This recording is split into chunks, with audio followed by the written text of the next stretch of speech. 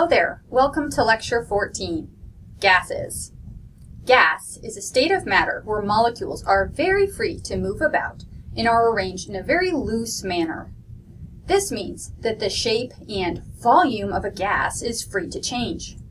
A gas will assume the same shape as the container that it's in, and it can be compressed to take up less space or expanded to take up more space. Learning about gases helps us to understand a lot of fascinating and important topics.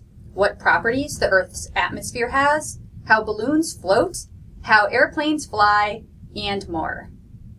Each of the following concepts will be discussed in this video. The Earth's atmosphere, atmospheric pressure, Boyle's law, Archimedes' principle, Bernoulli's principle, and plasma.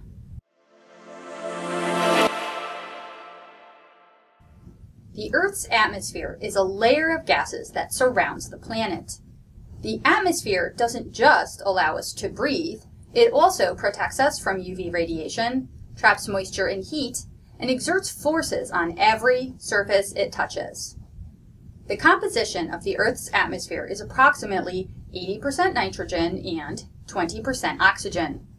There are also trace amounts of some other gases in our atmosphere, argon, carbon dioxide, water vapor, and other gases. Because gas molecules can be compressed, we can think of our atmosphere as being sort of like a giant layer cake. The molecules closest to sea level have a lot of other molecules pushing down on them from above, making the density of the atmosphere higher the closer to sea level that we are. The molecules at the upper levels of the atmosphere have relatively few molecules pushing down on them, making the density lower. If we were to take a ride from sea level up and up and up, we would notice the density of the atmosphere decrease with our altitude. At a certain point, we would require an oxygen tank to allow us to breathe. Though the composition of the atmosphere remains constant for about 100 kilometers, meaning that we still have 20% oxygen, the total amount of molecules decreases when density decreases. This is why commercial airplanes have pressurized cabins as they fly through the stratosphere, and why many mountain climbers summiting Mount Everest will take oxygen with them. The atmosphere of our planet has no real height to it.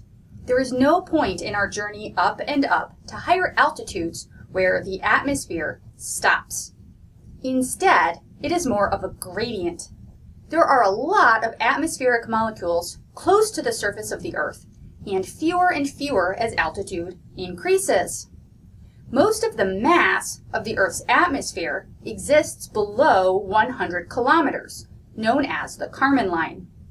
This altitude is used as the designation of where space begins and the people who go beyond that altitude are considered to be astronauts.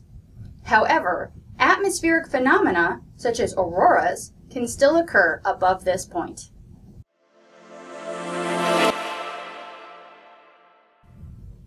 At sea level, the pressure we experience due to the atmosphere is approximately 100,000 pascals.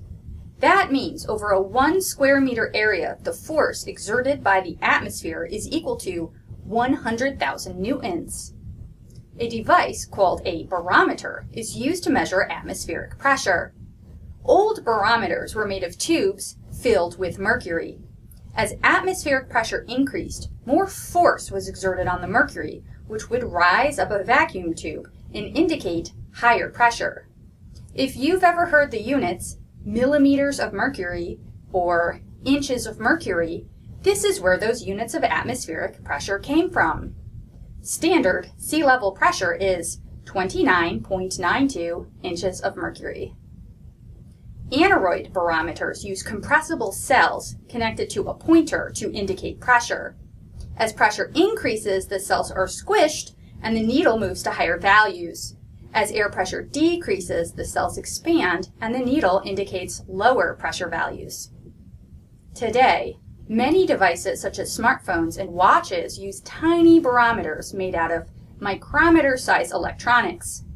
Barometers are extremely useful devices in forecasting weather and are an essential instrument in airplane control panels. Our atmosphere is capable of amazing things. Because we are constantly experiencing our atmosphere, we may not realize just how powerful atmospheric pressure is. Suction cups are capable of holding things up. Where does the counterforce to gravity come from? When air molecules are forced out from under the cup, there are many molecules pushing on the suction cup from the side, but very few molecules inside to push back. A really good suction cup can hold up quite a bit of weight. Let's see a more dramatic example of the power of atmospheric pressure. In this demo, I've taken a metal can and removed the lid. I poured some water inside and placed it onto a hot plate. The water heats up and begins to boil.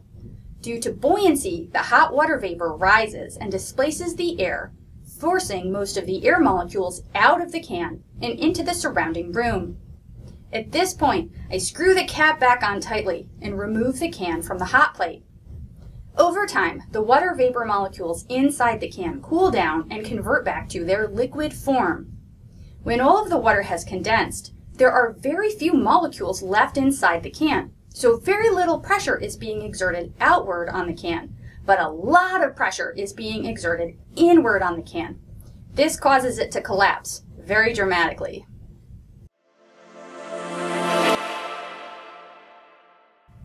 Boyle's law describes the relationship between pressure and volume of a gas when the temperature and number of molecules in a system is held constant. It states that the pressure times the volume is a constant. In a closed system, if the volume decreases, it will cause the pressure to increase. If the volume increases, it will cause the pressure to decrease. We can state that in equation form as saying P1 times V1 equals P2 times V2. In other words, the product of pressure and volume before the change is equal to the product of pressure and volume after the change. In this demo, I have a cylinder and a piston. I can control the volume of the cylinder by moving the piston up and down. A pressure gauge shows the pressure inside the cylinder, subtracting out the background atmospheric pressure. As I decrease the volume of the cylinder, the pressure increases. It actually becomes hard to decrease the volume of the cylinder once it starts getting very small due to the large amount of pressure that is built up in the cylinder. Once I've compressed the cylinder all the way down and released the air, this causes the pressure gauge to indicate zero again. Now, as I increase the volume of the cylinder, the pressure decreases, indicating negative on the pressure gauge. This relationship continues until I increase the volume back up to maximum again. A more general version of Boyle's law is the ideal gas law, which also considers temperature and the number of molecules involved. We will not go into details of this law, other than to say that the ideal gas law tells us that volume and pressure are proportional to temperature. In other words, as the temperature decreases, the product of volume and pressure decreases as well. If you have a car with an automatic tire pressure sensor, you may notice that it goes off in the winter due to the cold weather causing tire pressure to decrease.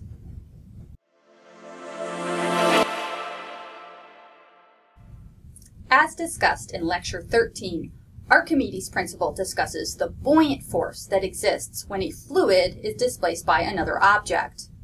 The buoyant force is equal to the weight of the displaced fluid. In liquids, this makes us feel lighter when we go swimming, for example.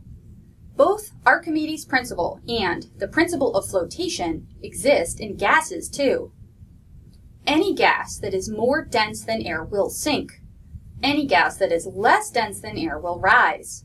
Because the density of air decreases as the height above the surface of the Earth increases, any object that experiences a buoyant force will rise up until its density matches the surrounding density of the atmosphere.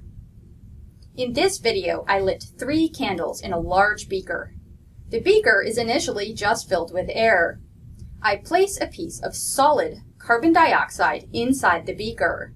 The solid carbon dioxide sublimes, turns directly into a gas using a process we'll discuss in Lecture 17.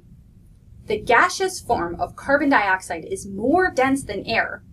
As the CO2 builds up, it displaces the air.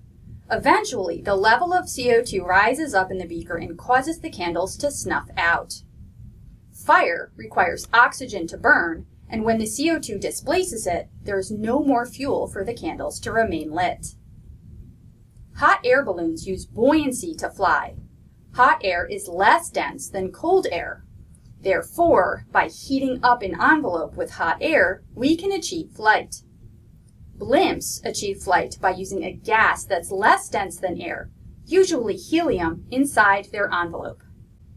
If all it takes to rise up in our atmosphere is a less dense gas than air, why not use balloons to go to outer space? Let's consider a balloon filled up with helium gas. At sea level, helium is much less dense than the atmosphere. If you've ever let go of a helium-filled balloon, you've probably watched as it flew up into the sky. As the balloon rises, two things happen. The surrounding atmospheric pressure decreases with altitude, so the balloon will expand, and the difference in density between the balloon and the surroundings decrease. In this demo, I have a jar with an uninflated balloon. In the beginning, the surrounding pressure is relatively high and the volume of the balloon is low. We'll assume the balloon is a closed system and that no molecules can either enter or exit through the balloon in any way. As I pump air out of the jar, the volume of the balloon increases. The pressure in the balloon causes it to inflate because there are fewer molecules pushing in on it from outside. If we picture this balloon on a journey upward through our atmosphere, one of two things will limit the balloon's flight. Either the balloon will rise up to the point where its density is equal to the surrounding atmospheres, or the balloon will expand to the point where the envelope of the balloon bursts. Balloons are certainly used for a lot of high altitude research and weather measurements, but they are not a feasible method to achieve spaceflight. For that, we require rocketry.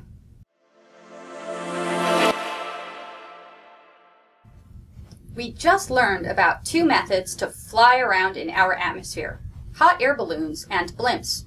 What about airplanes and gliders? How do they work? Bernoulli's principle states that as the speed of a fluid increases, the pressure decreases. Another related principle is the Venturi effect, which states that as the area of fluid flow decreases, speed must increase. Let's discuss both of these properties and see how they relate to airplane flight. The Venturi effect comes about due to conservation of mass. If I have some fluid flow through some pipes, if I decrease the area of the pipe, then in order to get the same amount of mass flowing through, the fluid has to speed up in the smaller area. If you've ever heard of a carburetor, which is how gasoline and air were mixed together in car engines prior to fuel injection systems, this is how a carburetor works. On the other hand, Bernoulli's principle comes about due to conservation of energy. That fluid that speeds up now has more kinetic energy than the surrounding fluid. But energy can't come from nowhere. As a result, the pressure of the fluid decreases in order to compensate. Whenever we have a difference in pressure on one side of an object compared to the other, we get a net force. In this demo, I have a hair dryer and a foam ball. At first, I blow the air directly upward on the foam ball, pushing it up. As I tilt the hair dryer, I redirect the airflow, causing the air to flow faster above and slower below. I use a string to show the airflow which is moving very fast above the ball and pretty much not at all below. This creates a pressure differential. The air pressure is lower on the top side of the ball and higher on the bottom side of the ball.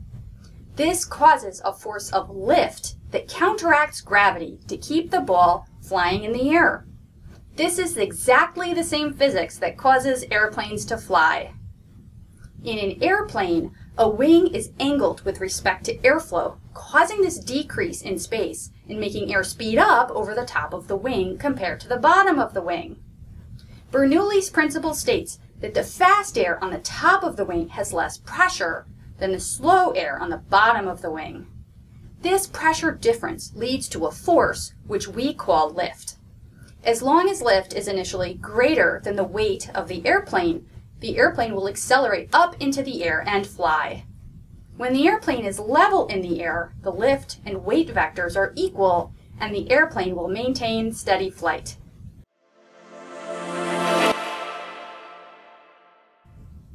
The fourth of the four fundamental states of matter is plasma. Plasma is ionized gas. Recall from lecture 11 that ions are atoms with an unequal number of protons and electrons. They contain a charge. Plasma is a gas where so much energy is present that the electrons are removed from the atom. The resultant atoms have a positive charge.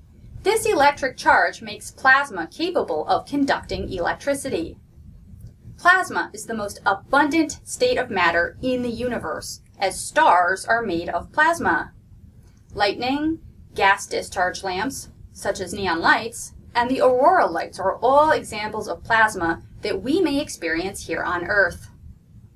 Plasma is a particularly valuable as a method of creating light. We'll discuss this application of plasma in much greater detail in Lecture 30 on light emission. For now, it's enough to know that plasma is how many different types of lighting work. Fluorescent light, neon light, and sodium streetlights. Thanks for taking the time to learn about gases. Until next time, stay well.